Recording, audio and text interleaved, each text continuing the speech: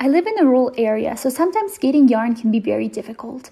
But this time, Hobbii Yarn came through and sent me a lot of beautiful yarn. This month, we're doing No Shades of Grey Challenge.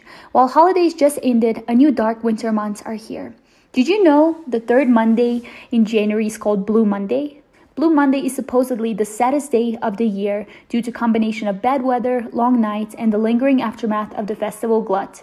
That's why we're starting the No Shades of Grey challenge on this date. We're going to be using the Twisted Yarn by Hobbii and we are going to use this chart that I made on Procreate. You can also find it on braceletbook.com and we are going to make a vest out of it. So let the challenge begin.